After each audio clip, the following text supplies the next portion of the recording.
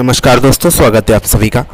दोस्तों, वर्तमान में चल रहे कोरोना की वजह से लोगों के मन में काफ़ी डर बैठ गया है तथा विभिन्न शहरों में रहकर काम धंधा नौकरी करने वाले विभिन्न राज्यों के लोग अपने अपने घर जाने हेतु ट्रेनों का सहारा ले रहे हैं।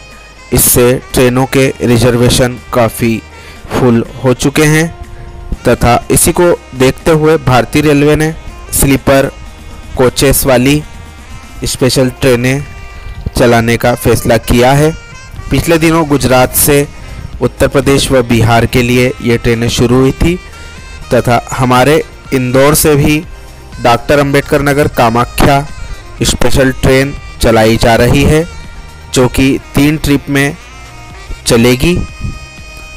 इस ट्रेन का रूट पहले चलने वाली डॉक्टर अंबेडकर नगर कामाख्या के रूट से अलग है यह ट्रेन। बिना तक तो पुराने रूट व समय के अनुसार चलेगी।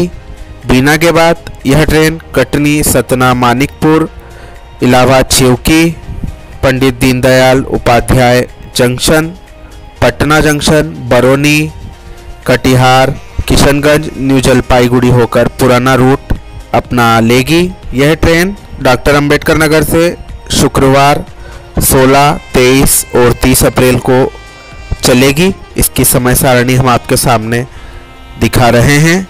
वहीं वापसी में यह गाड़ी कामाख्या से हर सोमवार को 19, 26 अप्रैल और 3 मई को चलाई जाएगी। यह पूरी तरह से आरक्षित ट्रेन होगी। इसमें 15 स्लीपर पाँच सेकंड सीटिंग कोच तथा एक एसी टू टीयर कोच के साथ दो एसएलआर और सेकंड सीटिंग कोच, यानी कि कुल 23 कोच इसमें रहेंगे। इस पूरी तरह से आरक्षित गाड़ी का किराया एक दशमलव तीन गुना ज़्यादा होगा। आने वाले दिनों में और भी ट्रेनें व्यस्त रूटों पर चलाई जा सकती हैं।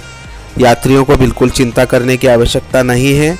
सरकार ने उनके लिए पूरे इंतज़ाम किए हुए हैं। बस थोड़ा सा धीरज और सावधानी रखने की ज़रूरत है। यह छोटी सी जानकारी आपको कैसी लगी, कृपया कमेंट करके हमें ज़रूर बताएँ। हमारे साथ बने रहने के लिए आप सभी का धन्यवाद।